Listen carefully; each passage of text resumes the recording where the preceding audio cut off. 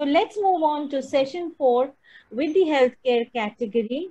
And uh, before we begin the session, we have a short address from Mr. Joy Chakravarti, COO, PD Hinduja Hospital Medical Research Center. Uh, it's our pleasure to uh, hear him wishes for the team and all the viewers and organizations. May I request for the video to be played? I am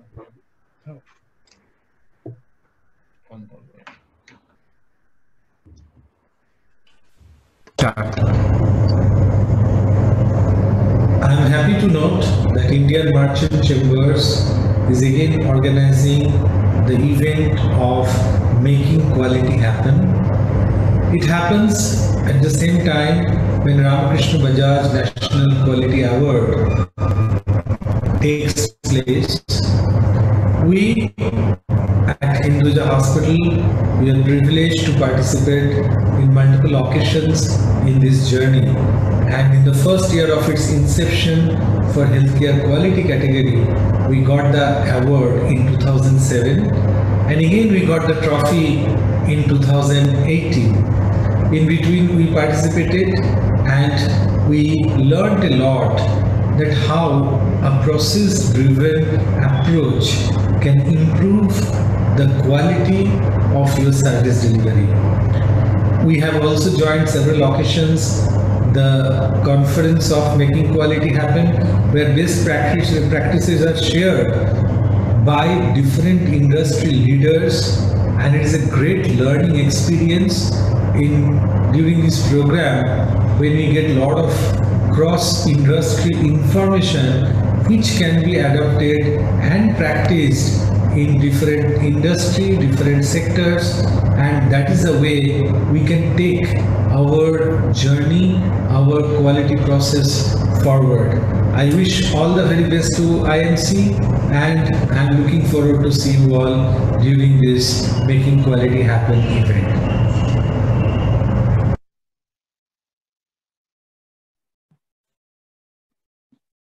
Thank you so much, sir, for the wonderful message. Truly appreciate. So we begin the healthcare category with, uh, uh, of course, the judges have already been uh, with you for the earlier session. Uh, so we have uh, Dr. Colonel Thomas and Deep Mehta taking us through the healthcare category assessment. We begin with Ganga Medical Center and Hospitals Private Limited, Coimbatore. I would like to introduce the presenters, Dr. S. Raja Sabapathy, Chairman, Division of Plastic Surgery, Hand Surgery, Reconstructive Microsurgery and Burns. Hello, sir. Hello, ma'am. Hello, Vandana. How are you? so nice to see you all. Truly appreciate. Thank you. Thank you. So I would now, uh, uh, would you like to say a few words, sir, Dr. Sabapathy? It's always a pleasure to present in these uh, meetings because uh, we always feel that uh, audits are the drivers of change. So Okay. whenever we participate in these type of meetings, it also helps us to assess ourselves as to how we are doing. Okay, and okay, the great. greatest advantage uh, in this. We are looking Okay. forward. Yeah. All the best, sir. We will now play your presentation. Yes. Thank you, sir. May I request for the presentation to be played of Ganga Medical Center and Hospitals Private Limited, Coimbatore.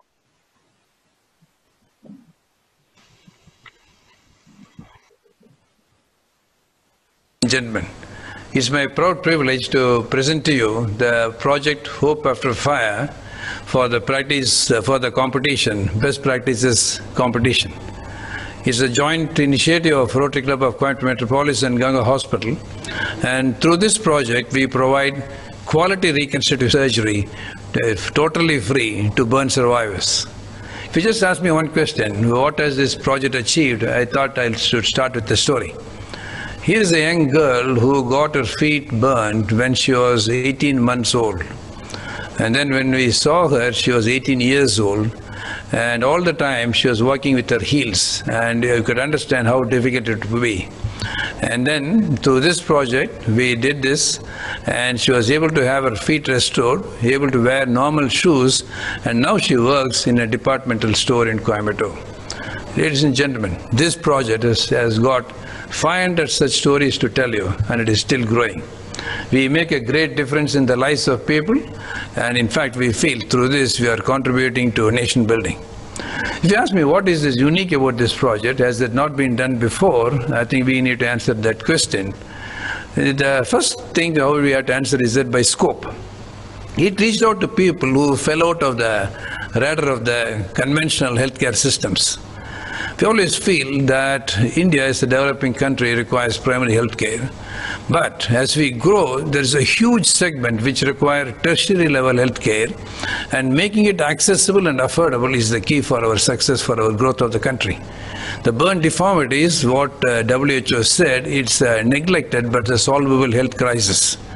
Why is it inaccessible? Because the solution is there, but the solution requires it's a skill, labor, resource, and time intensive. I think even if one component of the whole thing is missing, that means you know, it cannot be achieved. Let's take an example of uh, Nancy, a lady.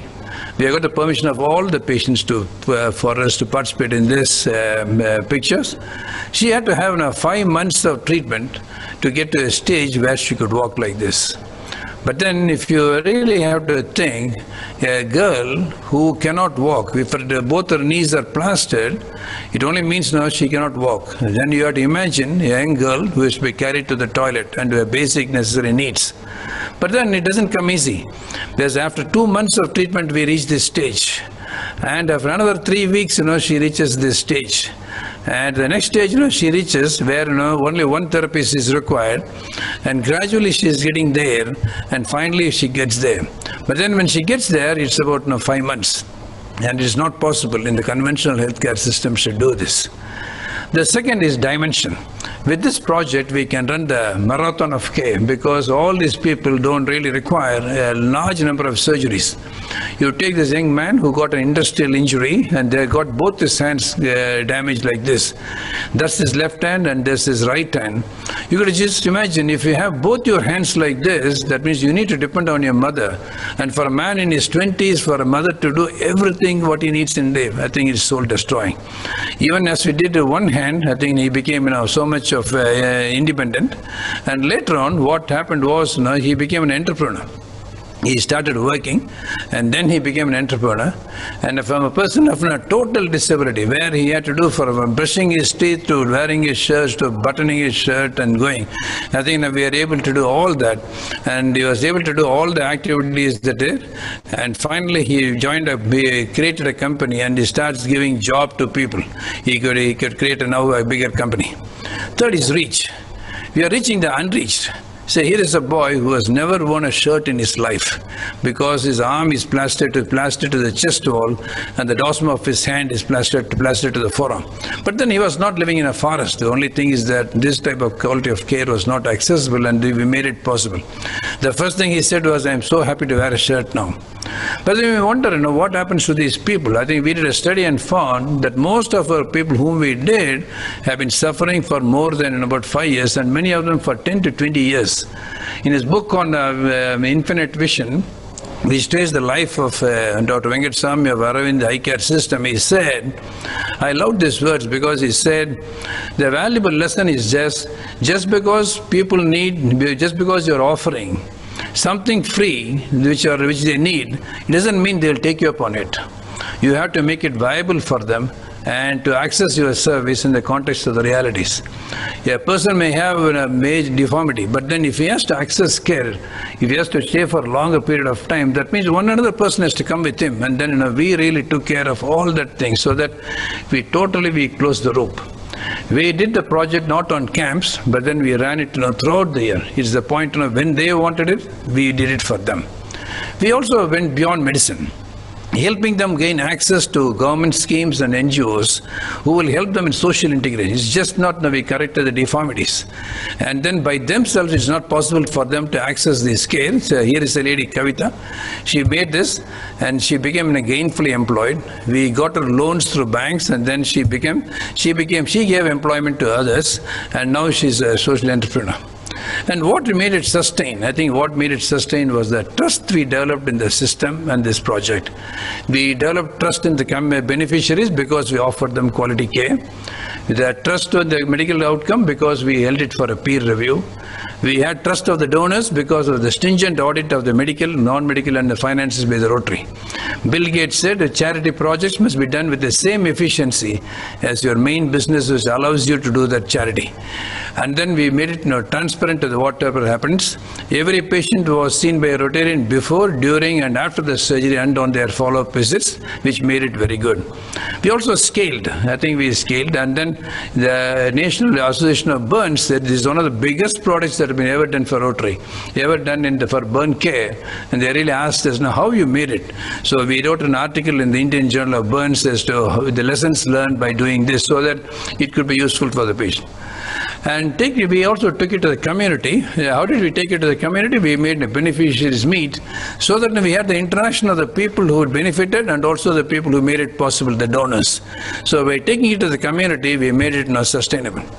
You know, to summarize, what we would say is that it's a best practice because it provided an answer to the question what WHO said. It's a neglected but a solvable health crisis, and we did it by harnessing the combined strength of the medical professionals, the system, and the community. We achieved no disruptive results. I think that's what no, we want to really say. So here is the young girl who got burned when she was one and a half years old. She has never done anything in her life with one single hand. But then as she has survived, she goes to school, but then she's so different. And that's her hands. I think you just can imagine how she could be able to do that. It required multiple stages of surgeries, and then she started doing her hands by one hand. That's the making of the hand. And now you see she starts eating with her hand. She went back to school. She was so overjoyed. And one of her follow-up visits, I asked, what is that one thing which makes you so happy? And what she said was really surprising. She said, sir, after every day of uh, physical education training or the games period, our teacher used to say that all of you have to go and wash your face. I could never hold water in my hands. For the first time, I could hold some water in my hands and splash it on my face. It's so nice, sir. And she cried. I think now this project now made that possible. And we have to say that how we deploy, development, deployment of the best practice, the most important thing we say is that by producing consistent and good results, we sustained and scaled up. So here is a young man who got this injury and he has got this type of deformity. Once he reached this stage, they are not even able to go to the hospital. I think two times, three times they go to the hospital and they are given dates, that means that they give up. And the person, only person who could say is the mother or a wife. And then, you know, it is equally punishing for them to have this. If that is his hand, that is his face, and this is his hands. And plastic surgery is much more difficult to not do to do this. And what we did was, now we made him uh, reconstructed him, and now he's employed as a gainfully employed as a security person. The journey so far is that we have well over five crores. We have done this and 1.82 crores is the surgeon's fees, you know, which we did. So that every rupee this project had goes for a long time. We have the monitoring systems and then it's monitored by the hospital, the beneficiaries, the Rotary, and they are accountable to the donors. Ladies and gentlemen, we count ourselves extremely fortunate to be able to do this. We are making a difference in the lives of people. It is said that life has got no price, but we also feel living with dignity is also got no, no price. This project, Hope After Fire, makes life worth living. Thank you, ladies and gentlemen.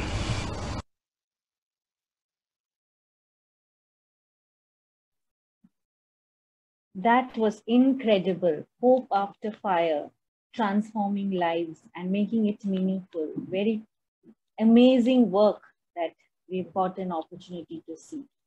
Thank you so much from the Ganga Medical Center and Hospitals. We will now move on to Yashoda Super Speciality Hospital, Kaushambi, a unit of YHRC, Ghaziabad. May I request for Dr. Saurabh Raha, VP, Quality and Accreditation. Good morning, sir. Good morning, ma'am. Yeah, the nice to have you here. and the judges. Yeah, thank you. Thank you for being here with us, and uh, we will be able to see the good work that you have implemented. Uh, I would request for the presentation to be played. Be with us. Yeah.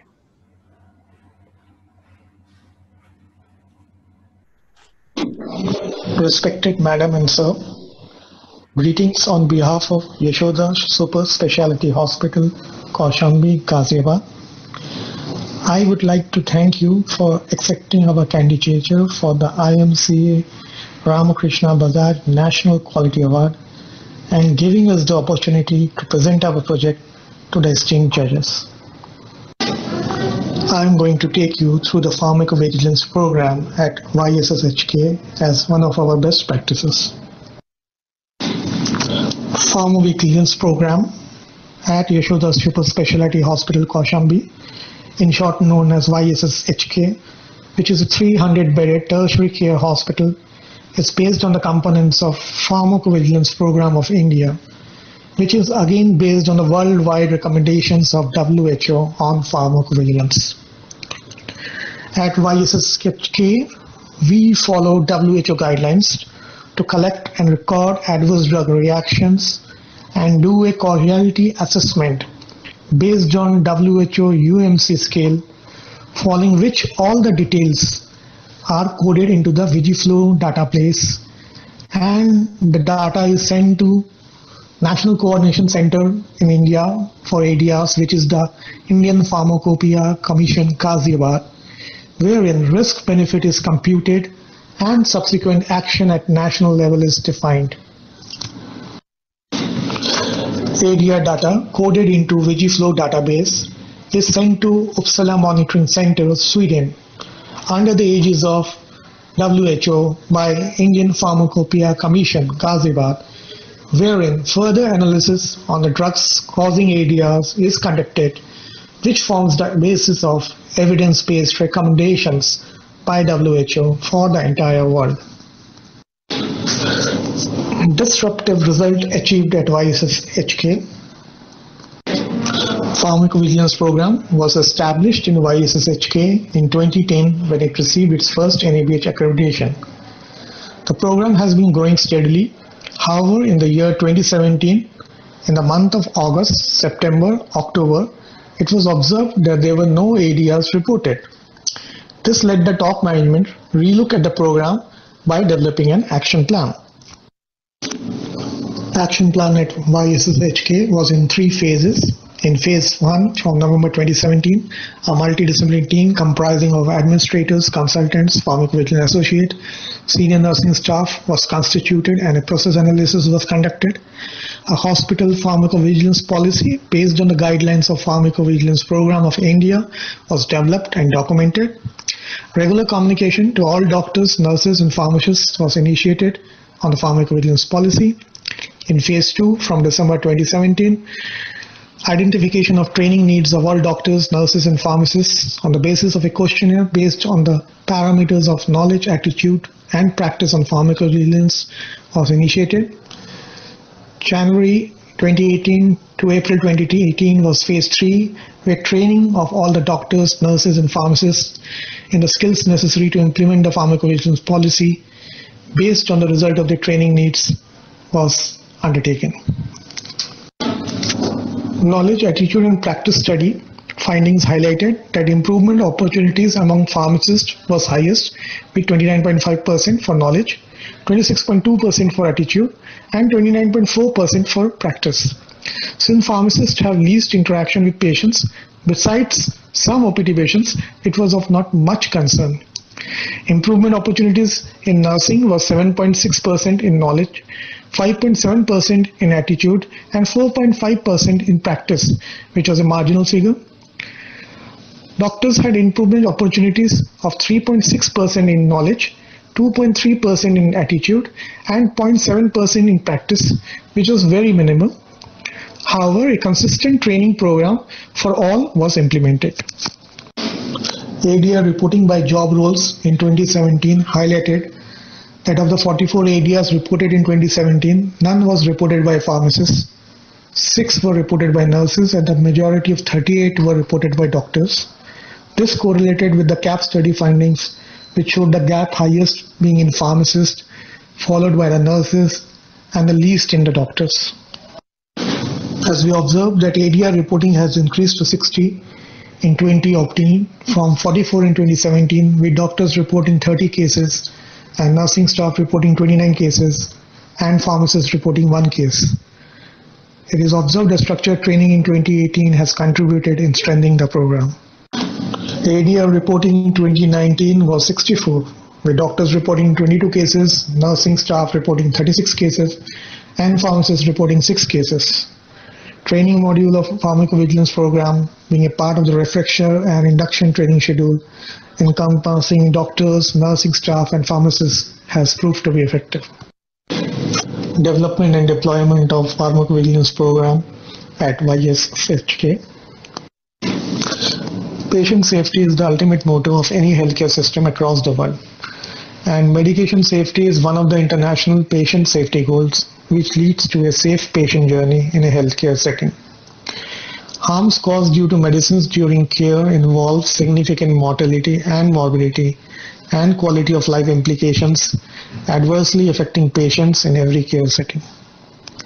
The WHO definition of adverse drug reactions is a response to a drug which is noxious and unintended and which occurs at doses normally used in human beings for prophylaxis, diagnosis or therapy of disease or for modification of physiological function. It has been observed that nearly 40% of patients in the community experience ADRs. Approximately 5.3% of hospital admissions are associated with ADRs. Higher rates are found in elderly patients who are likely to be receiving multiple medications for long-term illnesses. Nearly 10 to 20% of acute geriatric hospital admissions are related to ADRs. Antibiotics commonly lead to ADRs. Pharmacovigilance is the science and activities relating to the detection, assessment, understanding, and prevention of adverse drug reactions or any other drug related problems Adverse drug reaction reporting is the cornerstone of pharmacovigilance activity. Pharmacovigilance process encompasses collecting and recording ADRs, causality assessment and analysis of ADRs, collating and coding ADR data on VigiFlow database, which is done at YSHK as an ADR monitoring center, computing risk benefit and suggesting regulatory action and communicating safe use of drugs among stakeholders is done nationally by IPC Ghaziabad and internationally by WHO UMC. Adverse Drug Reaction Monitoring Cell at YSSHK comprises of the Director Clinical Services as Coordinator Pharmacovigilance Program of India, Consultant Medicine, Deputy Coordinator Pharmacovigilance Program of India, Pharmacovigilance Associate, and a pharmacist.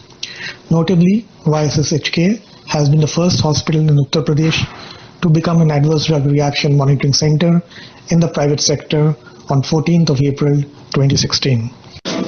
Number of ADR cases reported are segregated on the basis of month and personal reporting the cases and the drugs leading to ADRs are identified using Pareto principle.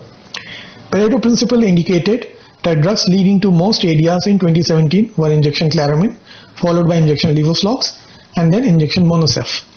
In 2018, it was injection Taxim, followed by injection Cefzone, and then injection Levoflox.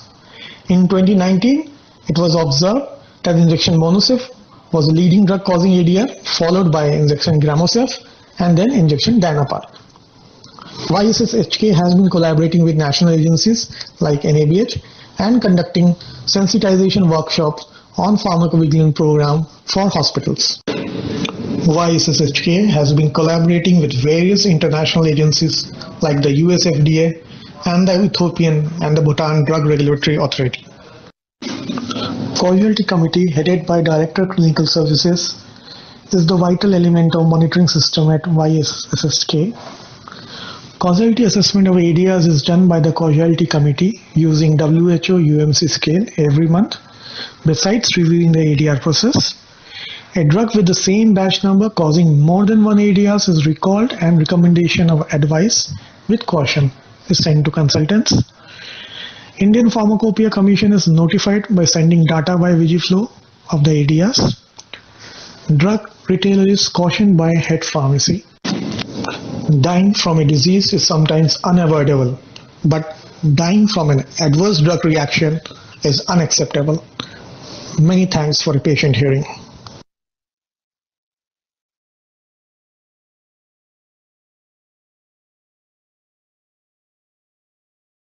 Thank you, Dr. Raha, for a very wonderful presentation and learning. We will now move on to Amrita Institute of Medical Science, Kochi. We have with us Dr. Sanjeev Singh, Chief Medical Superintendent, Amrita Kochi, and lead projects, Amrita Faridabad. May I have Dr. Singh uh, in the spotlight?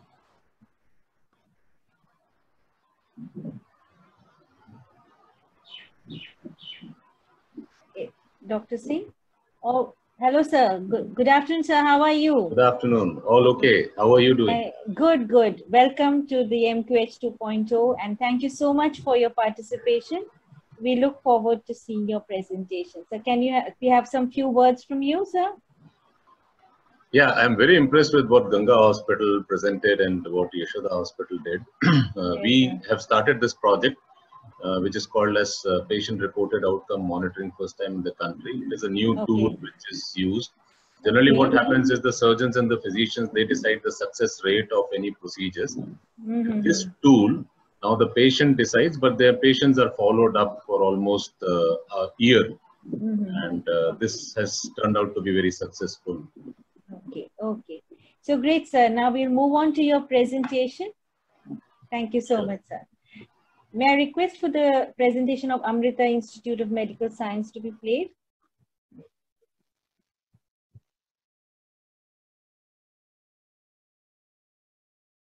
Namah Shivaya. I represent Team Amrita and I will be speaking on a new tool towards patient care delivery, which is called as Patient Reported Outcome Measures PROM and Experience Measure PREM.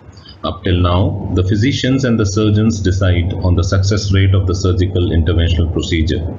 This new tool will act as a catalyst wherein the patient becomes a deciding factor. This tool also has been incorporated in the fifth edition of NABH standard, which was released two months back. The outline of my talk will cover the methodology of implementation of the tool and its outcome. We are grateful to Ms. Angelina of ICHOM UK for running a collaborative program on PROM with Amrita. This is how the patient's journey looks like. He or she is sick. They reach out to the hospital, they undergo a surgery, they are admitted in the ICU, they get into the recovery, they get discharged, they go home, and discharge summary is the only document which binds them to the course and the instruction which they need to comply with.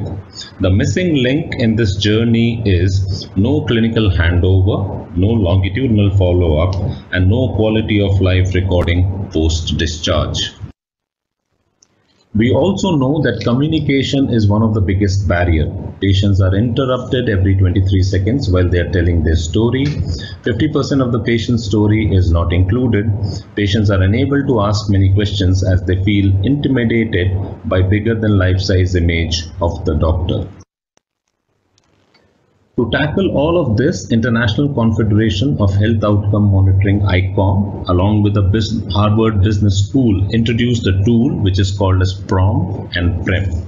It is widely accepted by the Center for Medicare and Medicaid and is part of the value-based purchasing in US.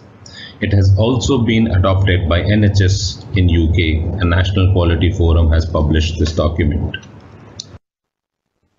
Dr. Ernest Codman, the founder of American College of Surgery and JCO and JCI, said the following almost a century back. Every hospital should follow every patient it treats long enough to determine whether or not the treatment has been successful, and hence is the relevance of PROM and PREM.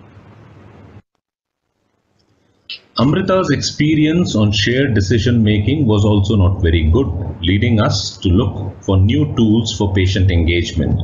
There is a 6D model for measuring health outcomes, which deals with death, disease, disability, discomfort, dissatisfaction, and cost of care. And this is very well measured by PROM, PREM, and Quality of Life Survey. PROM was initiated in antibiotic stewardship program in two surgical departments using ethnography, that is, observation and interview with patients, and sociogram. It was also implemented in the Department of Orthopedics, Cardiovascular Surgery, and Critical Care. The pre and post intervention study was done for the period of two years. Patients were followed up at the time of discharge, three months, six months, and one year. The medical social worker of each clinical department were directly in touch with all these discharged patients and got all the feedback which was necessary. Patients were followed up using an app. It was also converted into a vernacular language. Patients were taught to record their symptoms and score them accordingly. In orthopedics, we use the tool called knee injury and osteoarthritis outcome score, which is called as KOOS and HOOS. In cardiac sciences, the tool which was used was EQ5D5L Quality of Life Survey Questionnaire. This tool was tracking mobility, self-care, activities, pain, discomfort, anxiety, and depression. This prompts surgeons to select cases appropriately and not to do surgical procedures whosoever visits their department and it was ranked accordingly. We used a tool called sociogram within PROM wherein the doctor's visit is observed and the patient was interviewed immediately afterwards. Here if you notice the head of department stands at the foot end of the bed and gets most of the clinical information from his or her resident doctor. Additional symptom based information is gathered by the nursing staff. There is minimal interaction with the patient at least with the topmost decision maker. And the rest of the team, which consists of assistant and associate professors, are mute spectators. This is a typical hierarchical system of medicine practice, which is still very prevalent. Now, with respect to antibiotic prescription and infection prevention, you would notice that there are no discussions during the clinical rounds. In the Department of Gastrosurgery, the decision making was similar. Senior surgeon gets most of the clinical information from the resident doctor and the nursing staff. Here, patient's participation is less, but very interestingly, carer provides most of the information and also receives equal bit of information from the clinical team. Again, if you notice, antibiotic prescription and infection prevention is hardly discussed during the rounds. This sociogram was used to change behavior. Training, training, training doesn't help. Training with behavioral change is the only impactful work which needs to be done. This work got published in Frontiers of Social Sciences. The outcome of sociogram and PROM with respect to antibiotic stewardship was tracked. Compliance of rational prescriptions improved, mortality and length of stay reduced, and cost benefit was close to 1.2 CR. This work also got published in Infectious Disease Society of America's journal. PROM was applied in Department of Orthopedics on 1,130 patients for knee replacement and 101 patients of hip replacement. From osteoarthritis knee patients, activity of daily living, recreation and pain was assessed. And if you notice, there was 300% improvement in activity of daily living, 250% improvement in recreation, and 500% reduction in pain. Almost similar story was noticed in patients of osteoarthritis of hip. 500% improvement in activity of daily living, 450% improvement in recreation, and 300% reduction in pain. Critical care through Apache 4 was followed up. Activity of daily living improved by three times. Two times improvement in recreation score. 3.5 times improvement in quality of life, which was recorded by EQ5D5L survey, and six time reduction in pain and discomfort, which was measured by visual analog scale. In cardiovascular sciences group, triple vessel disease, the patients who were undergoing CABG, a similar story was followed up. There was two times improvement in activity of daily living, two times improvement in recreation score, five times reduction in pain and discomfort, and two times improvement in quality of life, which includes anxiety and depression scoring. We also collaborated with Harvard Global Health on heart failure project. During the clinical audit of heart failure patients, we introduced PROM and PREM. We noticed that on interviewing patients that the ACE inhibitor and ARB drugs, which should be prescribed 100% of the time, was not done and it was done 55% of times. The dietary consultation was done 95% of the time, but the salt and water intake advice, which is very, very critical for the patients of heart failure, was only done 42% of the time. And this important revelation comes when you interview the patients. This led to huge introspection and improvement in clinical practice and communication to the patients at the time of discharge and for there was huge economic gains with respect of PROM and PREM implementation. The revisits increased by 11%. There was increase in footfall. There was increase in admissions and increase in number of surgery. The total cost benefit was 1.161 CR with a. In conclusion, this is a good disruptive tool. It is important for an integrated care approach. The patient's engagement is the next blockbuster, and it's an excellent tool in assessing the success of surgical interventions. Thank you very much for your patient listening.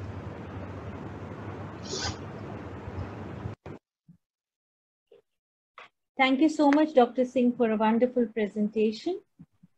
We will now move on to uh, Ruby Hall Clinic, Pune. We have with us Dr. Prachi Sathe, Director, ICU. May I request her to be in the spotlight? Good afternoon, ma'am. How are you? A very warm welcome. Good afternoon. Yeah, wish Thank you the you best. so much. Yeah, wish you the best. Thanks we a lot. Yeah, we will Thank now you play your presentation, ma'am, and then we'll take it Yes. forward. Thank you. Sure. Thank you I so much. Yeah, I request for Ruby Hall Clinic presentation.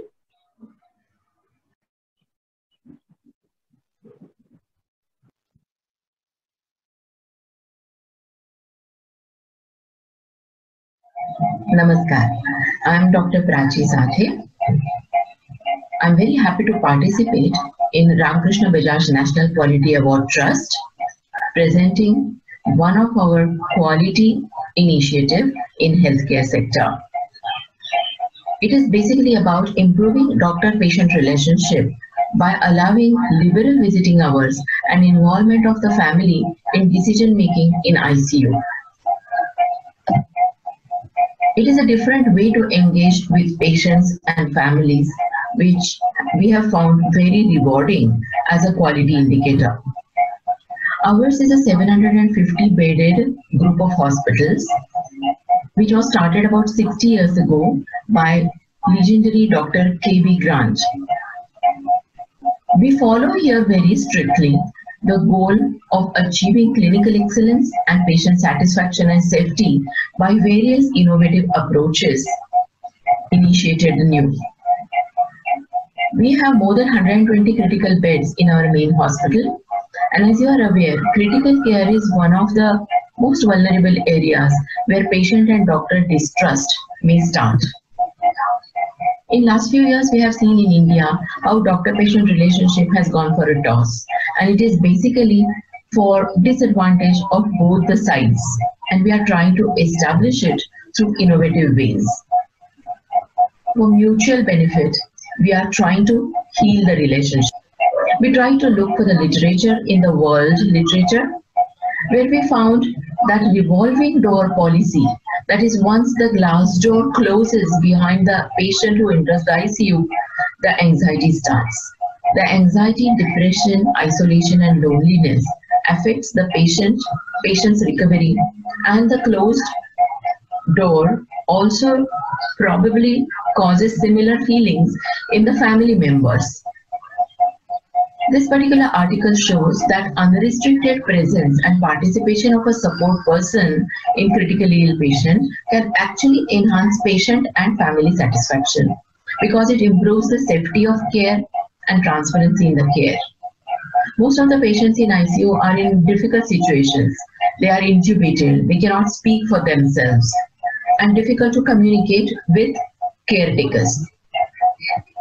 To improve the level of care to patient and family centered care, we try to implement this particular initiative, which also enhanced staff satisfaction. So advantages were to improve satisfaction level, transparency in care, reduce the distrust, reduce the anxiety of the family and the patient, which also would help in reducing medical legal problems which take root because of this. It helps to take easier and quicker decision making. We also cannot implement one is to one nurse and patient ratio in critical care areas. But there were devil's advocates also who told us to look at whether it will cause hindrance in the work of ICU staff, waste of time of attending staff, increased infection rate in the ICU, whether it will cause delay in decision making and more medical legal problems, whether it will increase the vulnerability of the ICU staff and doctors and whether they'll get exposed. So we had to take care of all these pros and cons before air. So that is how we started allowing patients relative to be with the patient for most of the time of the day. In India, there are special scenarios like emotional attachment level, literacy level. It varies a lot. Some people use internet, some are ignorant. There are diverse religious and spiritual backgrounds. And in current era of distrust, there are people and politicians who are sometimes causing different effects. So to achieve transparency, we are doing counseling at three different levels. Clinical counseling, billing counseling, that where and why the money is being spent for the care of your patient, and social worker and psychologist counseling. During all this, we're taking care of very strict infection control policies. We also ask the patient and patient relatives as well as staff to think from the patient's point of view. If patient was in a position to think and communicate what he would have thought. So deployment in special situations where there could be very difficult situations and you have to make decisions about political or palliative care. So intercommunication between the entire medical staff and several of the patient's relatives is a very difficult situation rather than one has to one talk. And we have to take care of these situations in counseling rooms to involve the family in decision making process. That helps us solving distressing conflicts in palliative care or end of life care. So we have got this counseling room where audio visual recordings also can take place. We also allow relatives to be on the rounds.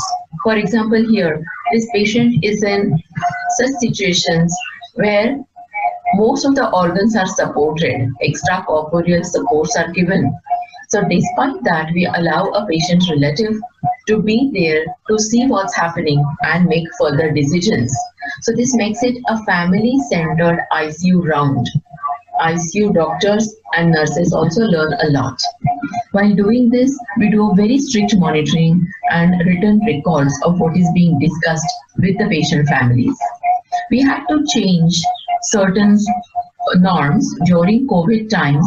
So these modifications were done in non-COVID ICUs as well, so as to avoid any spread of the disease. But we never stopped communication with the patients, as you could see over here.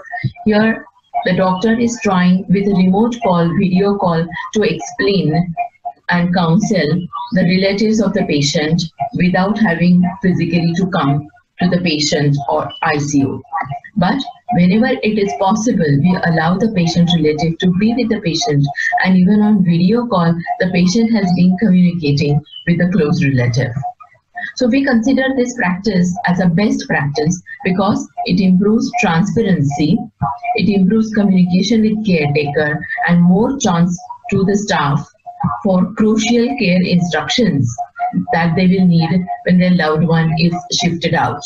It reduces ICU delirium for better recovery of the patient. Presence of family member can actually calm the patient and boost their morale. That in turn increases speed of their recovery. And this is how we measure our excellence by going through our records. I would like to read this by one of the patient relative who wrote this mail. The hospital where I was going second time. Last time when my father was in ICU and this time it was my mother. But the room in which my mother was kept was big surprise and the policies also were a big surprise. The sun streaming in, airy and spacious room, no smell of medicines, and I was allowed to be a part of the care. Last time when my dad was critical, we just could go in for a few seconds, worrying all the time that if I come out, even for five minutes, what will happen and whether he will be out all right. But this time, staying with my mother for last 48 hours of her life, remembering all the best things she did for me, holding her hand, talking to her, massaging her feet, and praying to God really gave me so much of peace. It, the last precious 48 hours in which I once again lived the 58 years of my life in her Matruchaya. So like this, we have got a lot of feedbacks and the successful partnership is denoted by positive feedback even when you are losing your patient. And this, I think, is the best reward a healthcare system can get. The doctor, you tried your best and we are really satisfied even though we have lost our patient. So creating more sensitive and better communicating doctors is one of the greatest advantage for me as a teacher because this gives me opportunity to teach the communication skills to my juniors. We have got hordes of testimonials given by our patient and patient relatives based on this policy, which helps us to take it forward. So we are more than 25 years of world-class care and last few years we have been experimenting and successfully implementing this quality initiative, which is based on evidence-based practices. Our infrastructure helps us to implement that and the process has been successfully implemented. So we are trying to heal the doctor-patient relationship, which is a beautiful relationship. So if you are asking me whether it is possible, yes, it is possible. And the conclusion is much improved satisfaction and acceptance level. Family-centered rounds hold a potential to create a patient-centered environment, enhance medical and nursing education, improve patient outcomes, satisfaction levels to a great extent, and doctor-patient relationship helps us great way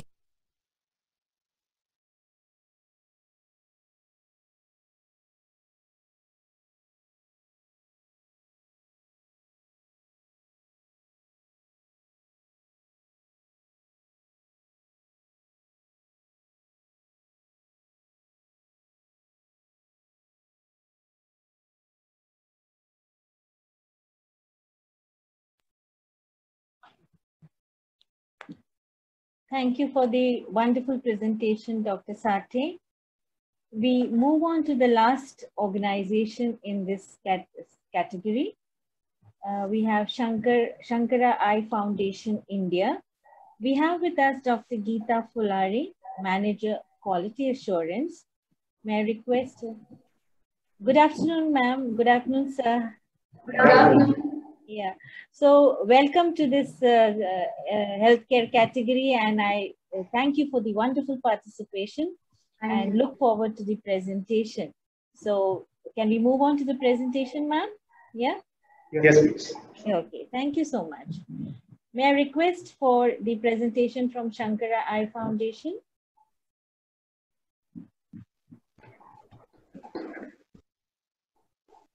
A very good afternoon, one and all. We present on behalf of Shankara Eye Foundation India a human centered project that we have implemented to enhance quality of care.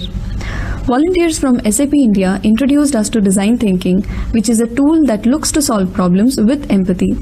The process begins with identifying the driving question, discovering empathetically what is needed, push past obvious solutions to get breakthrough ideas, build rough prototypes to improve the idea, test and refine the idea based on feedback, and finally implement it. We found this approach refreshing and explored it as a tool for quality enhancement. Patient satisfaction is critical to hospitals. Insights gathered from a majority was all of them wanted was to get consulted quickly and leave as early as possible as either the patient or their attender had to return to work. This finding surprised us, and we looked back at our patient satisfaction surveys beyond the scores into what was being said and written. Patients were unhappy about the ineffective communication that left them lost in the process. Cleanliness and hygiene was not what they expected. They faced difficulty in getting appointments, and also at times they felt that the attitude of doctors and staff was rude. We always thought our team was very pleasant, and when patients told us otherwise, we wanted to understand our staff's perspective on what bothered them. Our staff opened up about the lack in clarity in what was expected from them and the workflow. They found a few non cooperative colleagues. Some had overbearing reporting authority who did not allow them the flexibility at work. The very core of design thinking is to empathize. The very first step was to frame our design question. Looking at the expectations from our key stakeholders, our patients, and our colleagues, we imagined a magical situation. What if we had a genie who can help the patient walk through the whole journey? What if we could identify bottlenecks in our process and find individual patients across our hospital waiting for a long time? What if there could be real time escalation that allowed us to solve problems almost immediately? What if our staff were empowered to deliver to their potential and remain smiling through the day? This completely radical situation that we typically would have cast away, design thinking made us think and search for creative solutions. We followed this with structured analysis using tools like fishbone analysis and we tried to understand the root cause of the problems faced. We then came up with the design challenge with the how might we statement. How might we enable staff patient transparency and staff communication so that the patient is clear about the next steps by getting the right information and spends minimum time in the hospital. We then teamed up with our colleagues across verticals and domains facilitated by coordinators and started with the ideation process and brainstormed on multiple ideas that may not have been practical but definitely creative. The only rule was forget constraints when ideating. The ideas were clustered and themes emerged. To help understand the solution ideas, we built rough prototypes that helped visualize better. This not only helped us validate the thought process, with some of those who were interviewed initially being asked for views, but it also helped plan the implementation feasibly. These included not only tools but also process flow changes and technology solutions. Even a mock-up of website was created where patients can take appointments without much difficulty. Any idea to implement involves cost and takes time. A viability matrix helped us understand the trade offs and choose the solutions we felt would create the most impact with constraints. We arrived at a vision for Shankara where we would evolve into the next generation of eye care. From barcoded case sheets and an automated tracking and call system to realigning how the outpatient clinics were laid out, we further mapped each step of the process with thresholds as part of the solution. The entire workforce had their needs mapped and we structured continuous training. Being in the Silicon Valley of India, we went digital with online appointments as a start and further chatbots were used on our website so that common queries of the patients can be answered. You might have seen a check-in kiosk like in the banks. A similar check-in kiosk was set up where patients can take token by themselves. To help patients understand the various steps in the process, SMS alerts guided them, and if they didn't respond, automated voice calls were initiated. Dedicated waiting lounges to help bring together patients waiting for processes like refraction, consultation, dilation, and diagnostics were set up. Patients and more importantly their attenders were able to get an idea of the waiting at each station through large monitors that was integrated with the TVs have been installed to give patients an idea about waiting time. Floor coordinators at various lounges with a handheld tablet on a real-time basis could track the patient journey and inform on anticipated queue at the next step and track the number of patients waiting and duration. They could thus guide the patients. If a negative feedback is received from a patient from the feedback system, they get an alert on their device and could immediately address the concern. This was then cascaded to the senior administrator, the unit head, and the general manager operations, all within minutes of predetermined thresholds if unresolved. With this solution structure, we saw that outpatient satisfaction improved from 78% in March 18 to 96% by Feb 20. Staff satisfaction scores also improved from 74.3% to 82%. Waiting time improved on an average by 8 to 11 minutes at each service station through improved rostering and additional deployment in chronic bottlenecks. Patients are also vocal on social media. Our Google ratings improved from 3.2 to 4.1. We cloned this solution across our other hospitals in our network. In healthcare, word of mouth recommendation works the best, and we saw improved patient flow between 12 to 15% across centers. Our patients and staff are today much confident in the system due to transparency in the process. There is improved compliance with protocols. Inter-staff and staff-patient communication has visibly improved. Human resource planning is also better, and interdepartmental coordination has improved. Monitoring systems were critical to ensure consistency and sustenance of the solution. We took as a key factor patient feedback and the monitoring of unresolved negative feedbacks was at various levels, daily from the administrator, unit head, and even the president operations. SMS alerts were received in case of negative feedbacks, ensured collection of valid data, and also if the waiting time crosses threshold. Structured daily reports were generated for review at every step of the organization. The metrics are reviewed at the monthly review meet at the unit level and is also presented by the unit heads in the leadership council meets for review and enable peer-to-peer learning. We have been using Balanced Scorecard as a tool for monitoring. As part of the solution process, we had this linked to an automated dashboard cooperator which could be monitored centrally and are also included aspects like waiting time, satisfaction scores, and training into the 55 quality indicators we monitor and benchmark. Like every other organization, we too were hit by COVID 19. This led to a disruption of the world we knew. While our patients were scared to visit the hospital, staff were also confused and scared to report for work. We again fell back on design thinking. We looked at how might we create confidence in staff and patients so that they feel safe and cared for and are confident of the quality of care in spite of the uncertainty to their and their families' health. The existing solution structure was no longer relevant and needed to be tweaked. Through interactions with stakeholders online, we gathered insights and ideated on a prototype idea, Spark, a set of focused interventions that had safety as a core focus to stay protected from COVID. Multiple trainings through webinars and small group interactions ensured staff were empowered with steps we would be taking. Spark was used to educate our patients and staff on what to expect in daily functioning. Through the modified set of solutions, we ensured our staff and patients were guided and educated at every step and also corrected if they deviated. We relooked at the patient journey to ensure speeding up of the whole process. We scaled up our appointment system to regulation of the patients reporting to the hospital with social distancing maintained at all times. Online lectures combined with several educational videos were uploaded on YouTube so that they can be used as an easy reference. Teams were formed to track guidelines and advisories and ensure almost continuous updation of our protocols. This resulted in all our team from the nursing staff to the doctors and optometrists becoming more confident in performing their duties in the current pandemic. A study by the All India Ophthalmological Society showed that a majority of ophthalmologists surveyed through the psychological health questionnaire, PHQ was bordering on distress. We recently concluded a similar study. Post a fortnight after return to work, the PHQ score in our ophthalmologists was only 0.94 with almost no signs of any psychological distress. Our solution through design thinking allowed a dynamic human centered approach with improved solutions and lowered risk.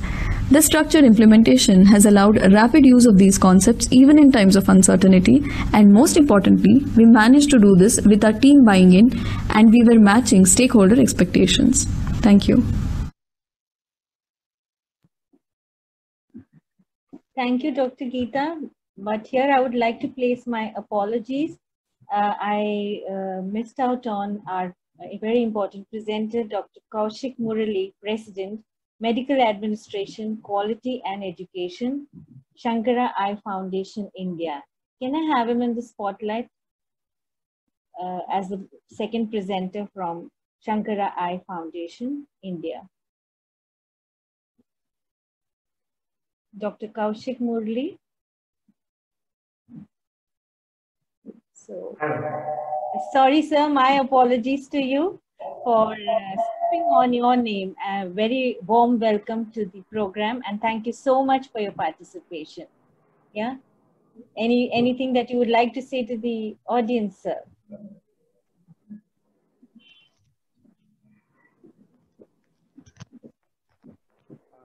Sorry, couldn't hear you. There's a flight. Yes, sir. flying past us Okay. Uh, my apologies, sir, to have missed out on your name.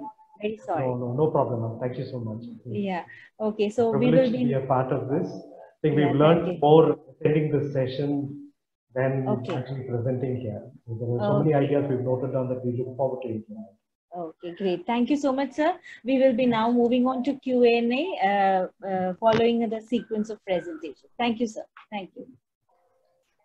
May we have the judges uh, uh, ready with uh, uh, their assessment uh, process? Uh, I would request them to unmute and switch on their uh, video. Yes, sir. Yes, Dr. Thomas and Deep Mehta. So, sir, we will be moving on to We'll the on to the yeah, Q&A as per the sequence of presentation. Yeah, so it will be Yes, Medical Trust first, uh, hospital. first. Yes, sir. Dr. S. Raja Sabapathy, Chairman Division of uh, Plastic Surgery. May I have him on the spotlight, please, so that we could have the interaction with the judges? Yes. Hello, sir. Over to the judges. Dr. Sabapathy, that is fabulous work you are doing. Totally impressed. Um, there haven't been many questions except for appreciative comments from the audience, but I have a few questions. Uh, you said that uh, during the monitoring processes, your patients are first seen by the Rotary. How do your patients come to you? Basically, that is. I can't hear you. I think you should. Uh, can you Yes, sir. unmute? Unmute. No, Um, um, You need to unmute your video. Unmute. yes. Unmute your audio. Audio, sir. You need to unmute your audio. Um, sir, on your screen, you'll find an audio button. You need to just click on. Yes. Yeah, okay. Now, Yes, now it's Yeah, yeah, on. yeah. Yeah. yeah. Um, thank you so much, sir. The initially, patients uh, came to us, and uh, what we did was we wanted to make this uh, not as a project of Ganga Hospital alone, so that uh, so uh, because it's usually going to be a high volume and uh, funding project. So we wanted to have Rotary's um, uh, contribution. So we, we sent to one of the Rotarians volunteered to assess them. And once he sees it, and then he gets their story and all that, they get convinced. And then they refer it back to us, sir. So that's the way it went on. And uh, because hearing their stories, they never stopped with that. They also came back to see the patients when they're in the hospital. And they followed them up, uh, this thing. That again helped us because uh, many of them could help them in many other ways in finding employment and all that. So once we stimulate them, we found that we could go a long way. You were talking about the scalability of the project also. Yes, sir. Has it been scaled outside the Ganga Hospital and Yes. the center? Yes, sir. I I didn't put it in it. Um, we presented it in the Rotary, the Rotary Club of Nashik. Uh, they were uh, during the COVID time. We presented over there, and the current governor he called the next three governors and the past district governor, and then they said they are going to have it, and this was inaugurated about a fortnight ago, and it is going to be done on the same way it's going to be done, and then they are going to use the same logo, and they are going to use the same model.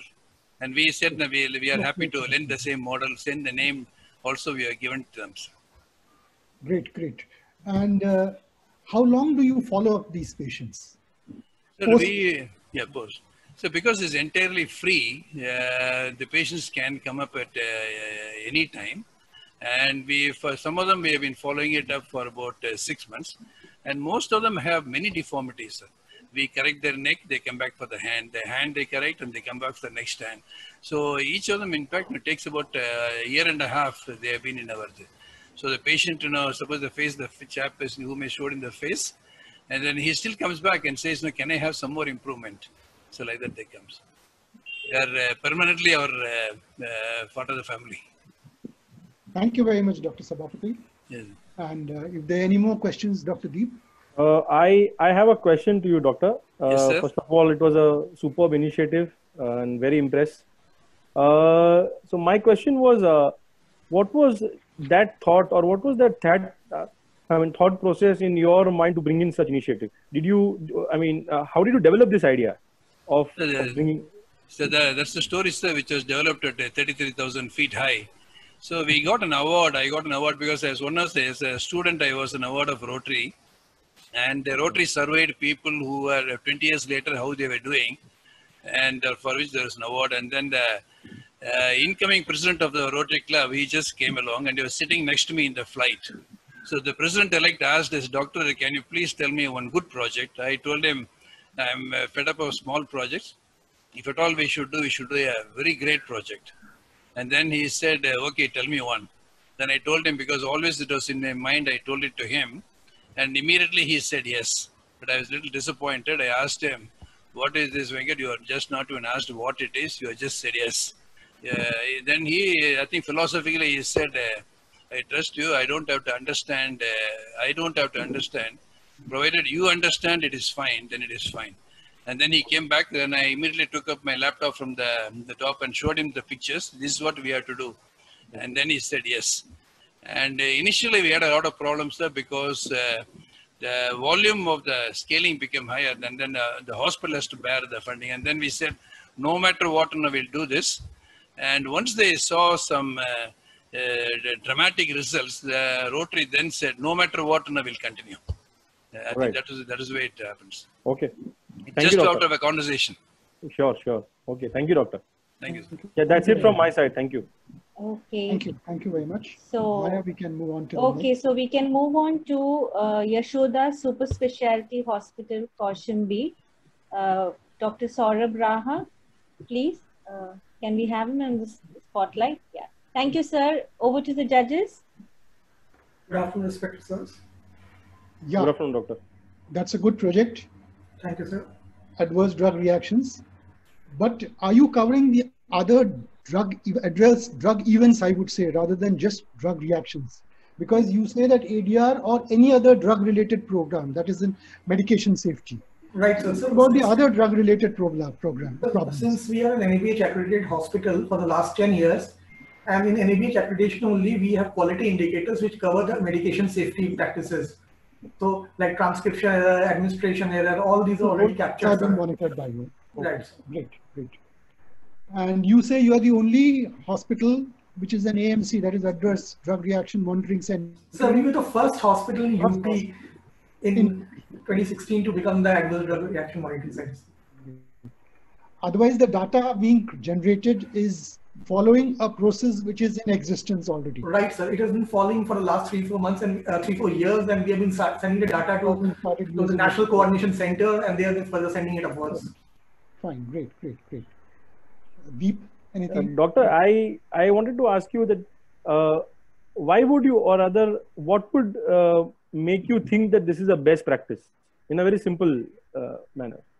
So as, as Sir has already pointed out that medication safety is covers with the other aspects like the transcription errors and all, which were already covered as part of NABH being our accreditation body.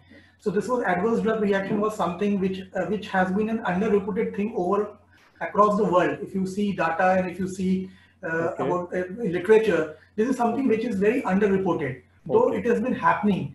So we wanted to motivate our staff and our community towards this. That's why we have been creating All right. national and international workshops also on the same, sir. Okay. Okay. Thank you, doctor. Yeah, that's Thank it. you, sir. Thanks, Yeah, thanks a lot, you. sir. Okay, thank you so much. Any more questions, sir? So, No, not from my side and from the Nothing audience from also. side. They have been quite quiet in these Okay. uh, medical related presentations except for Okay, so, so I guess comments. we can uh, move on to Amrita Institute of Medical Science. Kochi. Thank you, doctor. Uh, can I request Dr. Sanjeev Singh? Uh, yeah. Sir, uh, over to the judges, please. Yeah. Dr. Sanjeev, there's a lot to learn from you. We are old friends, we know each other. Uh, but what I wanted to know is what percentage of your knee replacements or hip replacements or CABG cases have, uh, are all the patients enrolled into the PROM and PREM programs or is it that a certain numbers are selected and then become part of the program? So we did a random sampling mechanism because all was slightly difficult because we were also, it's a new tool. we were also not very sure whether we would be able to uh, just take it forward and interview all of them at three months, six months, nine months, and one year. So it was uh, close to uh, 45% or 50% of the cases in knee and uh, almost 50% of the cases in uh, CABG uh, and 30% of the cases in uh, uh, critical care, but almost all cases in uh, antibiotic stewardship because uh, that's one area. Yeah. Okay, great, great. And what is your plan for scalability? Are you going to enroll at some point of time all the patients? Because it has got to be a continuing process now that it has come into the fifth edition of NABH. Right. So uh, while we were uh, uh, having meeting with the technical committees and we presented this particular new tool because you need to scale this uh, NABH also and uh, they immediately uh, got interested to prom and prem and they included that so now scalability would be there for all institutions who are already accredited which is 700 and plus plus uh, for our institution now we are going to take it uh, to since we have medical social worker attached to each clinical department so we have a fleet of close to 44 of them uh, we would be including all department because the the response from the patients has been very very satisfactory that they are engaged there are people who are calling and there are people who want to find out how they are doing post uh, discharge as well so they were very very happy Great. Uh, Mr. Deep, any questions from your side? Hello. Miss Deep. Deep, uh, any questions? Oh, I think he's been disconnected. Again, Let me just check. Yeah. Okay. Any questions from the audience? audience? Otherwise, we move forward. Because audience, again, there will be no questions on the chat room.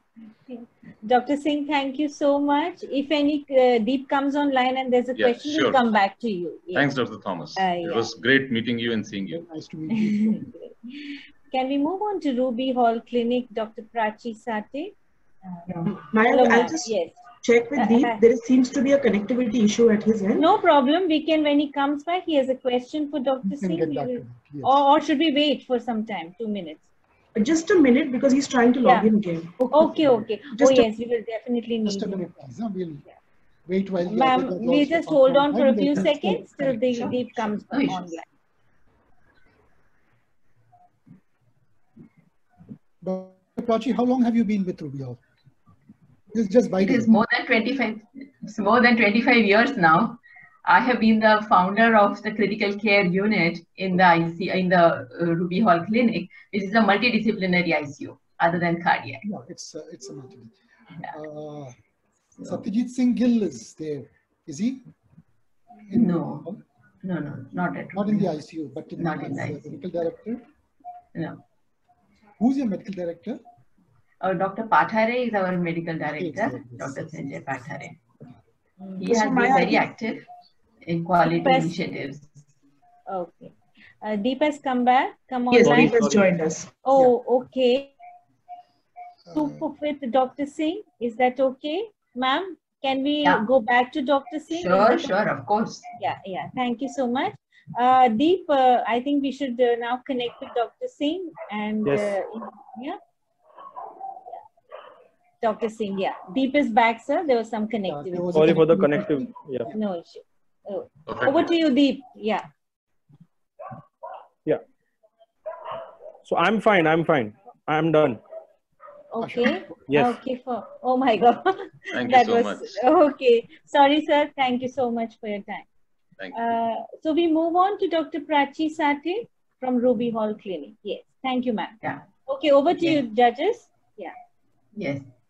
Yeah, I had a little question rather uh, Yes. About the monitoring. Right. Okay, the monitoring of your project per se.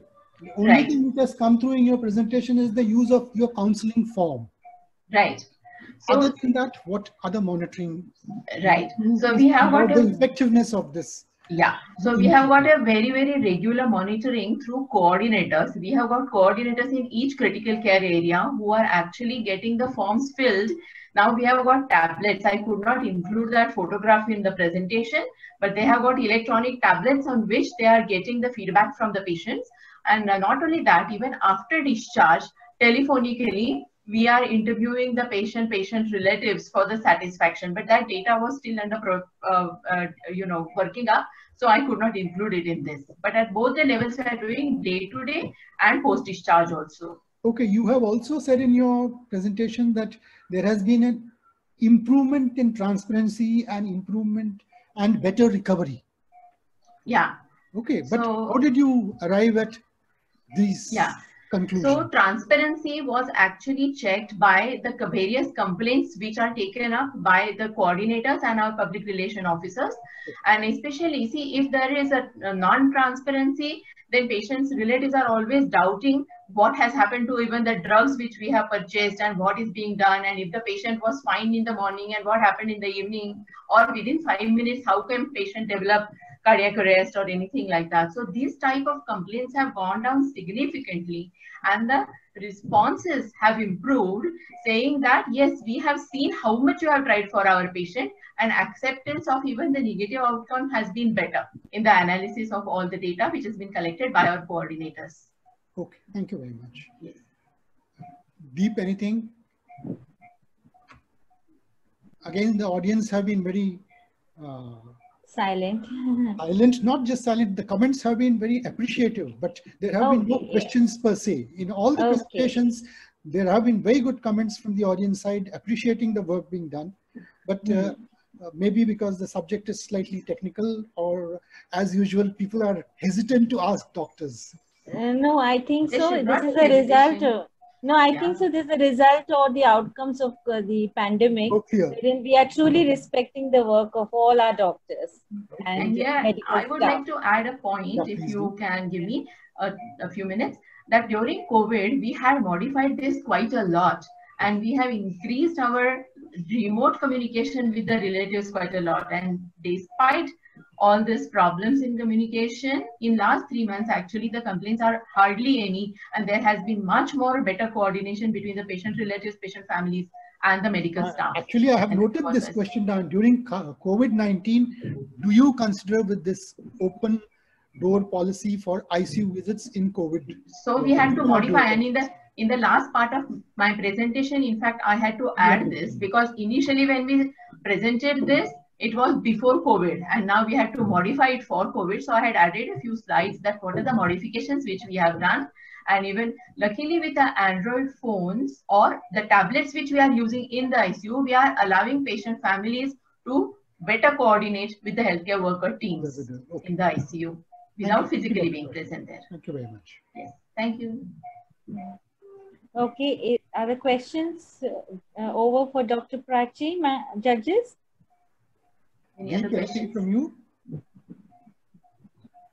Uh, I think we have Deep. lost people. Okay, I think uh, for the time time constraints, should we move on to the next uh, organization, sir?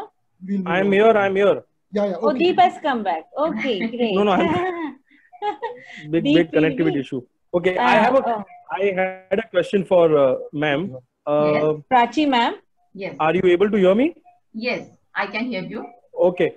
Uh, were you able to derive some tangible results apart from the testimonials which you've shown in the presentation? Yeah, so actually, uh, all the feedbacks are being analyzed every month and they are being presented to all the healthcare workers, including the doctors, junior doctors, nurses, and the PROs, and even the billing department, because these are the interactive uh, sessions, uh, sections which are facing the wrath of the patient, patient families always. And these are monitored Okay. according to the improvement in the feedbacks. They're regularly being monitored okay. because this is one of our quality indicators for NABH also. Okay. Okay. Thank you. Thank you. Okay. So can we move on to now Dr. Geeta Fulari and Dr. Kaushik Murali from Shankara Eye Foundation. Hello, ma'am. Uh, over to you, judges. Dr. Geeta. Yeah. She's you Dr. Geeta. Yeah. Uh, you talked a bit about COVID-related activities. Has that been part of your design thinking project or is it just the modifications you have done post COVID-19? Okay, so uh, the design thinking project, after we implemented, uh, we again tweaked it a little and then we went ahead to see how we can modify our solution structure so that it will be uh, used even during times of uncertainty. So even when COVID hit us, we have again looked back at the same solutions and then we saw how we can tweak it further so that it will fit even this uncertainty and we can come up with uh, the solutions. So we have again brought uh, things in place wherein we again had a flow coordinator who kind of helped us fast track the patients who were coming in so that we maintain social distancing at all times. And uh, also we have whatever solutions we had, we, we made sure that we again it so that it fit uh, the current COVID times also. So it was an extension of the project that we did. Okay, fine. Now about the scalability, have you spread it across all your uh, various units across the country or is it still at a project phase in one of uh, so sir we started this project in our bangalore unit and once we saw the benefits of it and then uh, uh, what we thought was let us extend it to all of our other units also.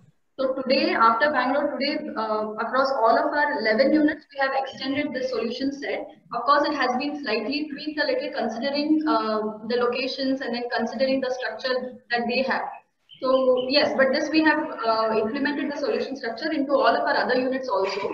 And also what we have done is we have our community section. So we have also seen how the solutions that we can implement it in our uh, community section also. And what we did was, this was one design thinking project actually that I have presented. But uh, that we have also uh, uh, conducted some more design thinking projects based on what were the challenges that we were facing in our other departments also. So there have been a couple of other design thinking solutions also, and we have found it to be very, very beneficial. So this design thinking comes from the like human-centric approach we have considered, and we have implemented various other design thinking projects also. The largest center is, of course, at Coimbatore. Yes, sir. Has, has, has that been has it been implemented there, or is it still? No, sir. So Coimbatore was the second unit where we have implemented the solution structure after Bangalore. Fine. So today, even uh, for some of our new facilities, uh, as a part of the structural planning, we've incorporated this so that the layout will kind of fit into the patient flow. So we've looked at it to be more proactive than reactive because what we realized is the unhappy patient is your worst enemy. So if there is some way you can mitigate it before he leaves the compound, you actually solve yourself a lot of hassle. So now we started looking, saying that what other way can we make their journey through the entire hospital much better. Mr. Mehta, anything? I'm fine. Thank you. There is a question in the audience. Yeah, there is a question that. Uh, yeah, that has just come up. Yeah, all these facilities, are they free of cost to the patients or has there been an additional charge because of these initiatives? Um, so as a part of our entire uh, process flow, we've not increased the cost to the patient. But what we've realized is that our efficiency at the end of the day has actually got better. Okay. Uh, so we didn't have an incremental cost initially when we implemented in Bangalore because we had to tweak the layout a little bit. We had to bring in a lot of technology enhancements. But the increased patient flow that we had offset these costs within a very short period of time. And in all our new facilities, because we are incorporating it as a part of the planning stage, the patient journey itself gets enhanced and our efficiency goes up. So there is very little added cost per se that on a recurring basis we would incur. And being a cross-functional approach, anybody and everybody can jump in and become a flow coordinator or help fast track the patient at any point in time. Fine, thank you. Thank you very much. I hope that okay. answers the question Yeah. of the audience. Okay. Any more questions for Dr. Kaushik? I'm fine. Thank you. Thank fine. you. Okay, thank you so much, sir. Thank Thank Okay, you. now we conclude the Q&A also. Uh, we will now request the judges to proceed to the breakout room and, uh, um, and start their discussions on the final recognitions. We will be having the second runner-up certificate followed by the first runner-up and the main MQH trophy winner. So that would be the sequencing. I request the judges to now confirm. Thank you.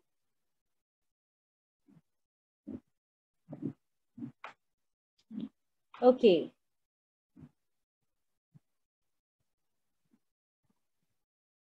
So we have the judges now in their breakout room discussing.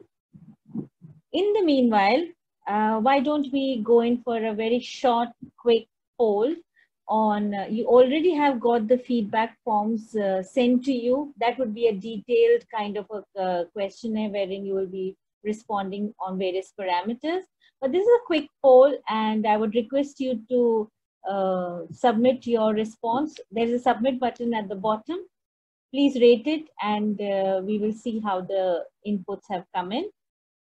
It will just take a minute for you to respond. Request everybody to carry on this poll.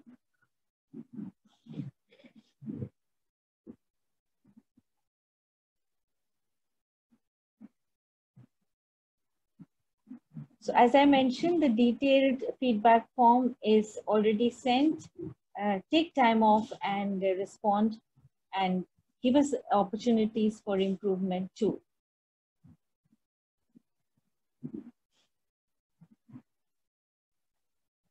Natasha, how is the uh, poll coming through? Um, 61 people have voted. We are still waiting for all of them to vote. Okay, fine, great.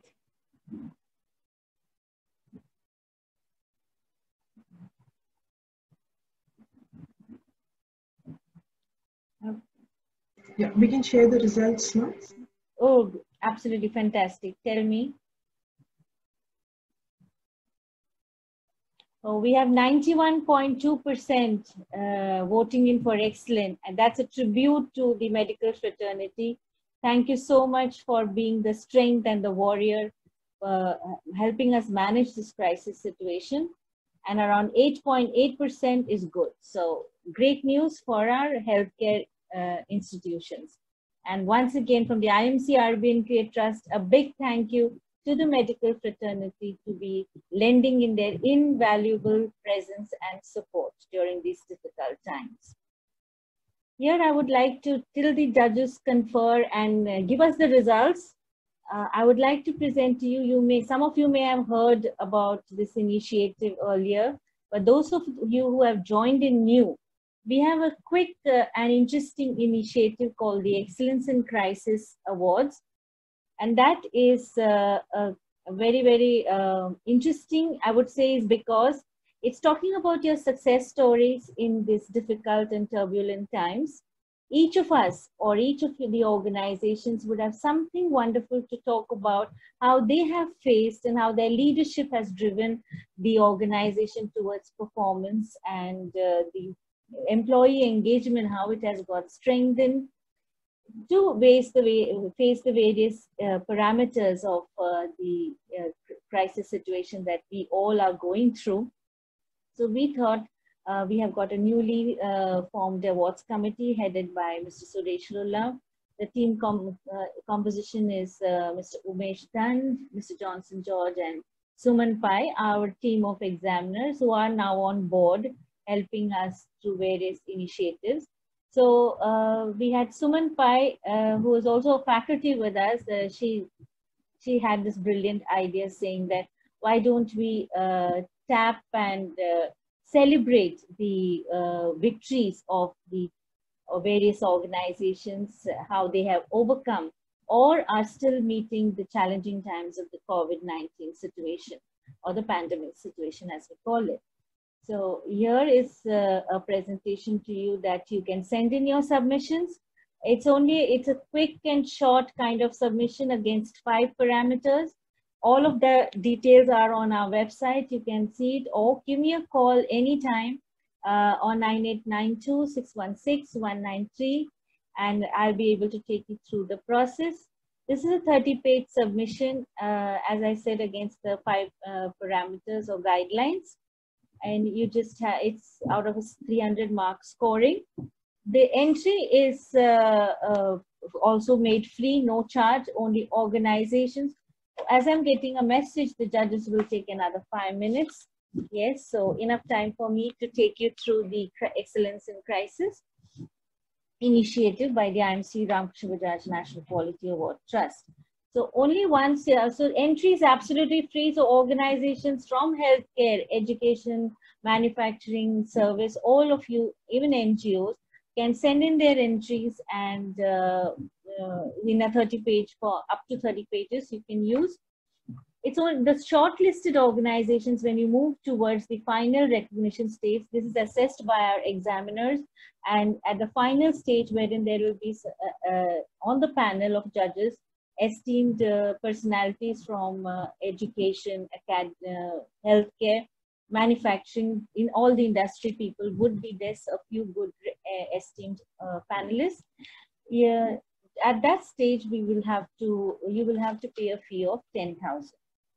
The beauty of this is, uh, though participation is generic across, uh, we will be presenting awards in three categories, that is crisis superheroes, innovating during a crisis, and learning from a crisis. The last date for submission is 24 July 2020.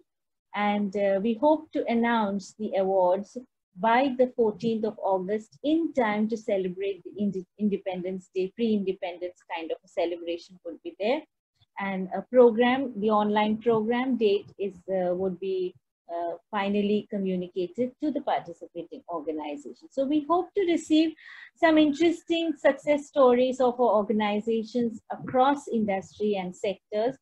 Do send in, it will be uh, uh, absolutely a happy journey for you too, because there's an opportunity to talk about what good you all have done and how the leadership has driven your organization towards performance excellence.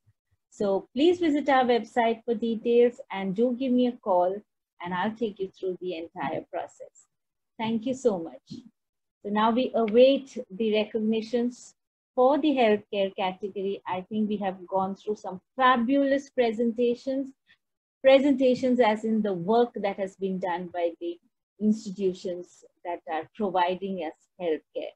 And that is a huge, huge revelation for all of us. I'm sure you all have, like from the results, definitely enjoyed the session. Great learning. Okay, the judges have arrived at a decision. So I request Dr. Colonel uh, uh, uh, Thomas and Mr. Deep Mehta to please announce the winners.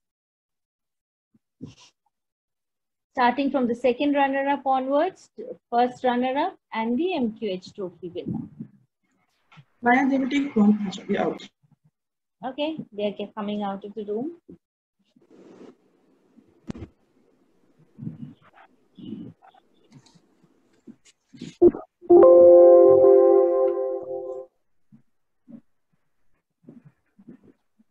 So we are waiting, sir, for the announcement. That was a lot of discussion actually, yeah? because yeah, I can understand. So good. okay.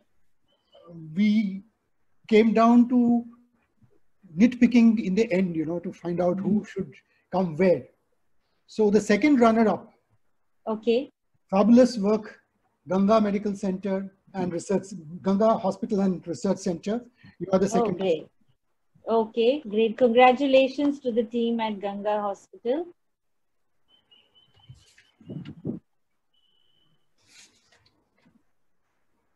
I think, yeah. Yeah. Congratulations to the team at Ganga Medical Center and Hospitals Private Limited, Coimbatore, for achieving the second runner-up certificate recognition. Congratulations to the team. The first runner-up, yes. again a Coimbatore-based tube, Shankara Eye Center. Oh, congratulations to the team at Shankara Eye Foundation India for achieving the first runner-up certificate. Great work. Congratulations. And let me congratulate the trophy winner, which is Amrita Institute of Medical Sciences and Research. Oh, wow. A big clap, virtual though, to Amrita Institute of Medical Science, Kochi. Congratulations to the team and Dr. Sanjeev Singh. Uh, can we have uh, a few words from Dr. Sanjeev Singh? Congratulations. Dr. Singh, congratulations for the MQH trophy. Sir, your audio is muted. Right, yeah, right. yeah. So, Thank you a so few much, words uh, from you. Yeah. Thank you so much, Dr. Thomas and uh, Dr. Deep Mehta. I think it is a fabulous recognition of the work which has been done. I must also acknowledge uh, what we heard today was superb. It was a great learning from Ganga, from Yashoda, from uh, Shankara Eye and Dr. Sathe uh, at Ruby. And I think we would like to adopt uh, most of the practices, but we won't be able to do the surgery what Ruby Hospital, uh, what uh, Ganga Hospital is doing. But we uh, we have a decent team. So and uh, Dr. Sabapathy has been superb uh, in in his surgical acumens and training. So all the best wishes to all who participated and Madam Maya, I really acknowledge for all the hard work which you do Thank to you, get the, get the team together. I think it's a it's a uh, super platform, outstanding work, and some incredible uh, points which comes in. And if could this all could be shared, I think uh, we would be very happy to incorporate some of them. But Absolutely, uh, sir. and last This- but not the least, would like to thank my team. Great, sir. who does the who does the most uh, valuable work and uh, i just come and present uh, on their behalf so No, it has been Great. awesome awesome support from the clinical department all of them and the team who collect data and Yeah. uh, natasha in particular who uh, got all of it together so thank you so much uh, judges and thank you all the participants superb work thank you, Thank you. Madam Maya and ashita for coordinating this Thank you so much, sir. Thank you for your participation. Once again, congratulations, sir, for the Thank incredible work. Thank you so And this will all be on YouTube also for you in a sharing format. So don't worry. Thank, you so, much. Thank you, sir. Thank you, judges, uh, Dr. Colonel you, VPMP. Thomas and Mr. Deep Mehta. I Thank think you. you all did a wonderful uh, coordination and assessment, and your expertise we cherish. And thank you so much, sir. Thank you, ma'am. Thank you. Thank you. Thank you, Dr. Thomas. Tho- Thank you. Dr. Thomas, thank you so much. Yeah. Uh, just interacting with you all for no, our uh, privilege to have your expertise, sir. I think you were perfect for this session, sir. Thank you. Thank you. Yeah. Uh, I before we close and then the next session will start at 2.30. I would like to say that we are uh, strong on our social media handles. We are on LinkedIn, Facebook, Twitter, and all these uh, sessions also would be uploaded. So do take benefit from it. And see you at 2.30 for those who are interested in the service category. And for the others, because this is cross-industry best practices, uh, each one of us learn from each other. See you soon at 2.30. Thank you so much.